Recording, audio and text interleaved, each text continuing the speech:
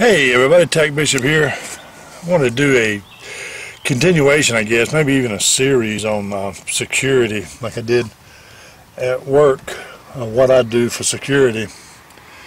And this would be part two of it, I guess, is security solar panel light. I do have dogs inside, I'm going to try to do this without stirring them up, because it's real hard to make a video with dogs, unless it's about them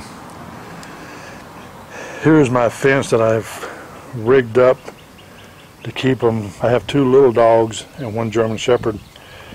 The little dogs will slip through this hole, so I have this little contraption here to keep them in. And these chains and things are here for a reason. I put them in certain sequences.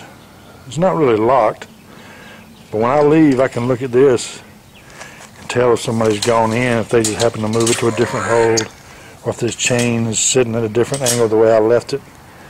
It's real easy to decide if anybody's gone in or not. So I have to commit around this wall before I can see if anybody's standing in this area. The was put together, put together several, I have it in three different categories. One is going to be the liberal gun hating category. I'm texting, I'm doing my thing. Right. Of course I have no weapons and I'm texting so I'm out of the phone mode. So I can either text for help or try to switch out to the to the phone mode. But what I like to do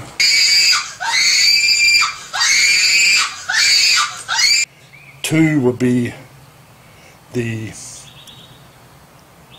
conservative, gun toting, Bible thumping, I'm going to shoot you in my yard person. Been waiting for this day all my life. or three is my way, Tac Bishop way. What are you doing here? I don't want any trouble. Yeah, man, there's a zombie behind you. There is a zombie behind you.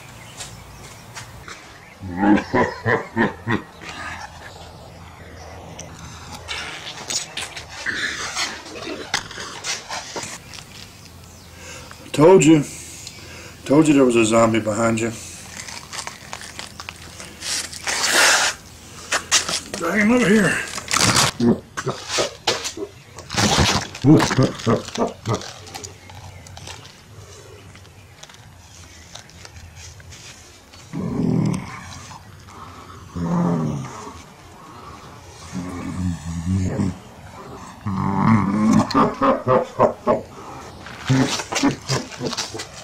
Killing.